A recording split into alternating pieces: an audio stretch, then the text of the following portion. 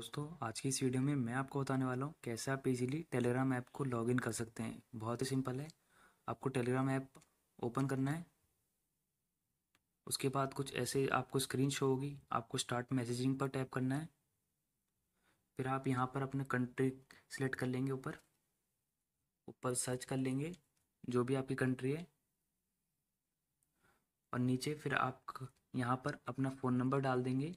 Starting में country code रहेगा, फिर आप अपना फ़ोन नंबर डाल देंगे।